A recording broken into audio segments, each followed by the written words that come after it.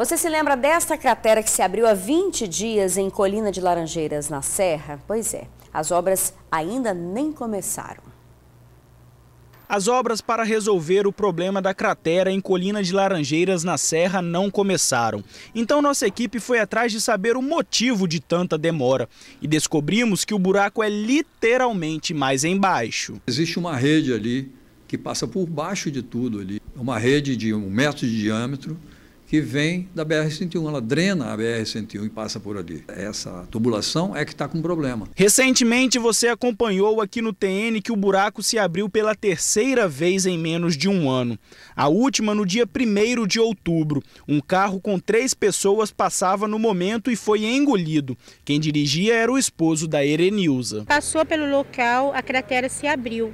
O carro afundou, graças a Deus ele o carro conseguiu levantar, mas a minha tia ficou com trauma na coluna, a minha prima ficou com a boca machucada e meu marido está em choque, né? E como o buraco é mais embaixo, a prefeitura da Serra vai precisar contratar uma outra empresa, mais especializada em drenagem para realizar a obra, que pode demorar até seis meses para ficar pronta. Quem passa por aqui não gostou do prazo dado pela prefeitura. Absurdo, porque isso aí devia ser investigado. É um prazo muito longo, né? Mas também não adianta ser rápido e não ser eficiente. Não tem necessidade de demorar isso tudo, não. O trânsito no local ficou complicado. Motoristas sem visibilidade, outros entrando na contramão, mas nenhum guarda para orientar os condutores. A vergonha, né, cara? Isso é um perigo é constante para todo mundo que passa, né? Pedestre, ciclista e a gente que trabalha com o aplicativo, né? O problema maior, ó, contramão os carros passando a contramão. Eu passo aqui constantemente dirigindo e a gente não tem visão do carro que vem lá de cima.